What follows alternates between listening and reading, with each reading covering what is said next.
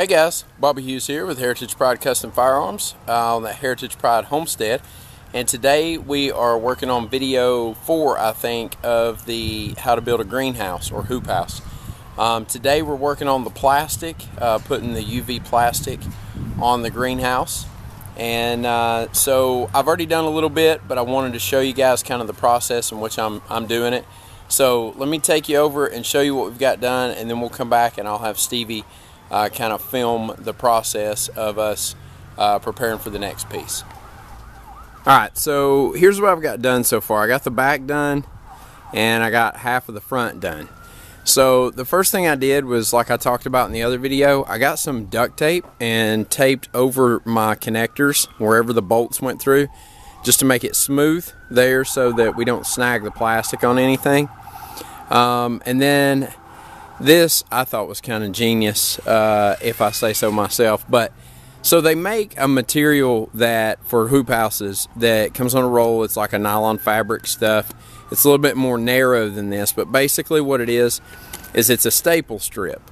So you know if you was to staple just the plastic, it'll kind of it'll pull through. The staple just pull through. If the wind blows, it'll pull right through. So you lay this black strip across it and then staple through that and that keeps your staple from penetrating the plastic. Um, quick, Caleb. So what I did was I got to thinking the stuff is pretty expensive and I was going to have to order it. Nobody around here, don't push on that. Nobody around here has um, that stuff that I know of. So I got to thinking nylon webbing for hanging ductwork, like your air conditioning and heating ductwork. They sell it at Lowe's or Home Depot or whatever. It comes in a 50 foot roll and it's super cheap.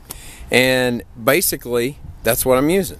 So on the instead of doing the cardboard like I was going to do on the edges, I just ran because this stuff is so cheap. I just ran this up and stapled it ever so often. And then the plastic just pulls right over it and it keeps it from snagging on my my connectors and on the edges the wood and the all that stuff.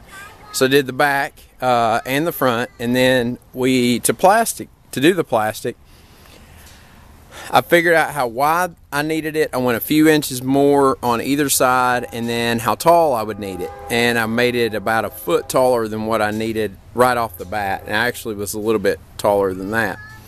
Um, and then I took a 2x4 and cut it the length of the width of the greenhouse. And then I laid the plastic out on the ground, rolled the 2x4 up in it, and then uh, used one, I, I just rolled it like twice, and then I used some of the fabric and ran it across and just stapled the plastic to the 2x4. Then I rolled the 2x4 the rest of the way up to make it easy to carry, brought it over here, and then unrolled it and ran some screws through that 2x4 into the our foundation of the greenhouse to hold it nice and level all the way across there. And then all I'll do now is just take some one by, I've got some scrap one by cedar I'll take some one by and just put over that and just shoot it with some uh, ring shank nails and then I might even do a little top cap on it too.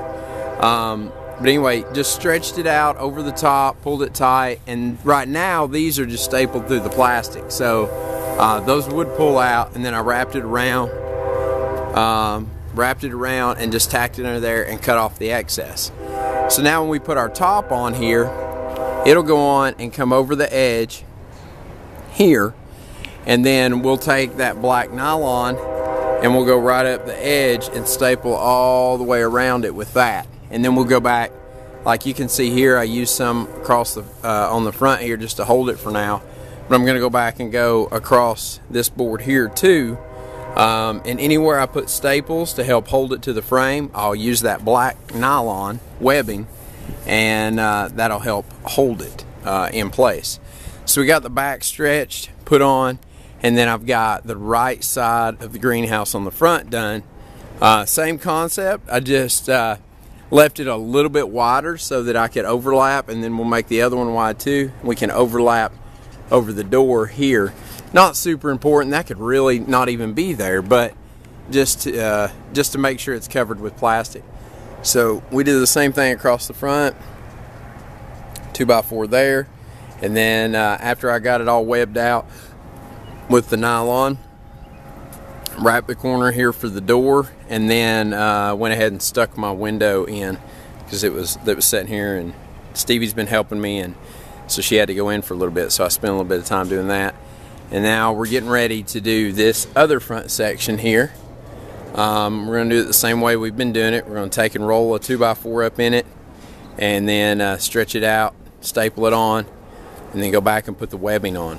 Um, when we do the top we will do it the same uh, kind of the same way we've been doing it. Uh, we'll start with one two by four, the full length here. I got a couple of 16 footers, um, and we'll we'll go the full length, lay the plastic out, roll it up in it, and then uh, uh, take and attach it, and then stretch the plastic over top of the hoop house down to the other side, and then we'll take and start our uh, next two by four then, um, so that we know how much to roll it up and stretch it and all that stuff and then uh, attach it into place too. Once that's stretched out over the top, then we can go back and pull our ends around and staple everything and make it nice and tight. So um, we're going to get started on this other front section here. If I can find a spot to set the camera to record us doing it, I will. If not, then I'll bring you back on just a little bit.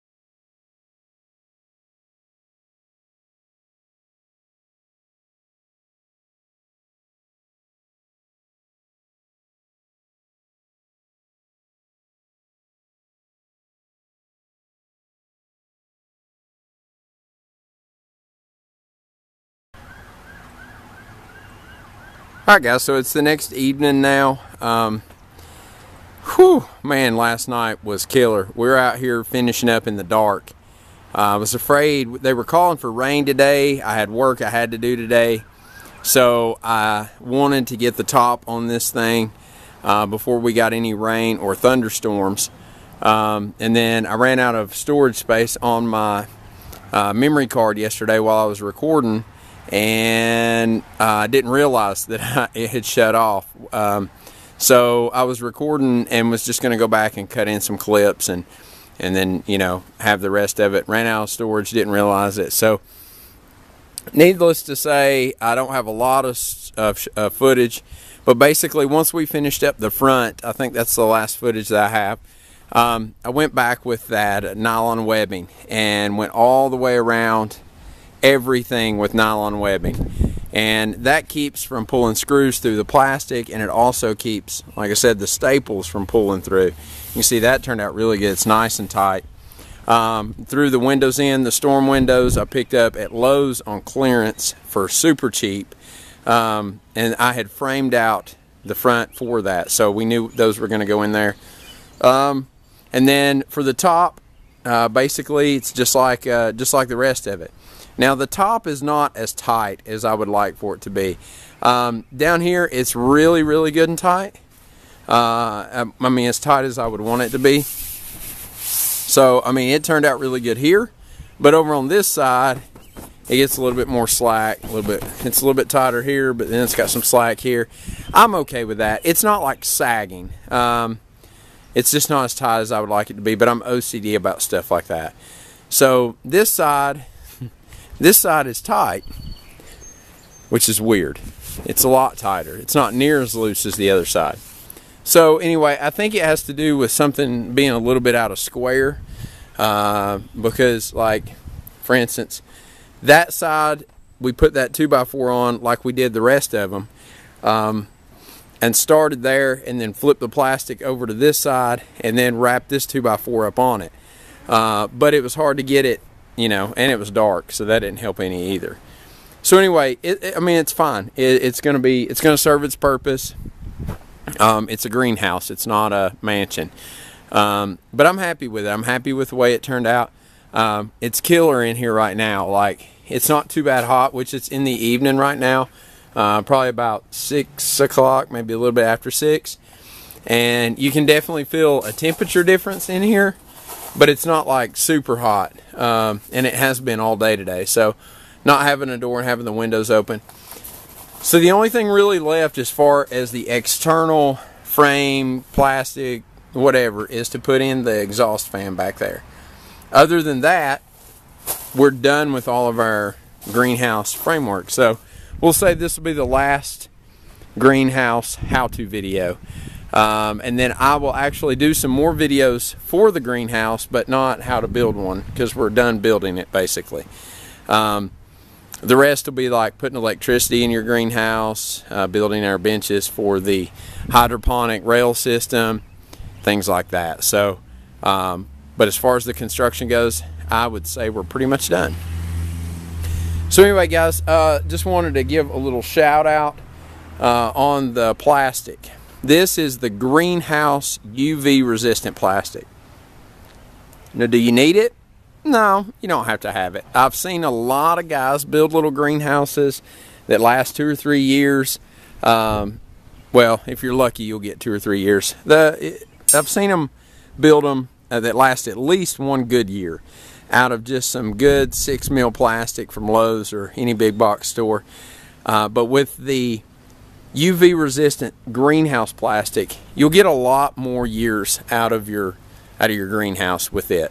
As long as you take care of it, you patch holes before they turn into tears. But it is very, very expensive. Um, I priced it, and to do enough to do my greenhouse, I basically needed a 25 foot by 25 foot sheet to have enough to do the front and the back and the top. Um, and that was going to run me about 280 bucks, I think. It's very expensive stuff. Uh, fortunately, uh, I've been doing some work for a couple, and right next to their farm is a greenhouse farm, a nursery and they had just since we'd been working over there over the course of uh, the uh, late winter they started constructing two new greenhouses so i stopped over there one day and i asked i said hey have you guys got got some greenhouse plastic i could buy from you and he was like yeah we got a big roll and so we went out back and we rolled out 20 it was, comes in 25 foot wide but they had like a 2000 foot roll of it it was on a big big roll um, so we rolled out 25 feet, cut it off, folded it up. I reached in my wallet, I reached in my pocket, grabbed my wallet, and pulled it out. And he actually gave me this plastic, so I didn't have to buy it. Um, he didn't charge me a dime for it. I insisted I pay him. He wouldn't let me. So I went ahead and uh, I told him if he ever needed anything that he could always call me because that he didn't have to do that, and that was a huge blessing. Um, so that saved me a ton of money on the construction part for the greenhouse. So anyway, guys, um, I'm to try to find them on Facebook. I don't know that they are to be on Facebook, but I'm to try to find them. And, you know, on average, I usually get, um, you know, right off the bat, uh, a few hundred views on my videos uh, within the first couple of days. Everybody that watches this video, instead of liking this video, if I can find them on Facebook, I'll put a link on here. If there's no link, then I didn't find them. I want you to go to their page and like their page. Um, does it give them any money? No. It. If you're local, cool. It'd be cool if you could buy from them. But uh, how about we bombard them with likes on their Facebook page? So don't like, I mean, don't like this video. If you if you had to choose to like mine or like them, go like go like their Facebook page. Um, you know, if you want to shoot me a like on here too, it's one click and that'd be cool. But uh, more so than liking this video or commenting on this video or anything like that, go over check them out. Like I said, if I can find them um, and like them. So like their page. How cool would it be to bombard their page and get like 300 likes overnight? That'd be sweet, right? So anyway, guys, that's it for the How to Build a uh, Greenhouse series. Like I said, stay tuned for more greenhouse videos. Uh, but as far as this one, uh, it is complete and we're about to start we're going to get our electric to it and uh, start getting our benches built and get our hydroponics going. I'm super excited about all that. So anyway, guys, till next time, get out there, shoot some guns, be safe, and most importantly, have fun. See you guys later.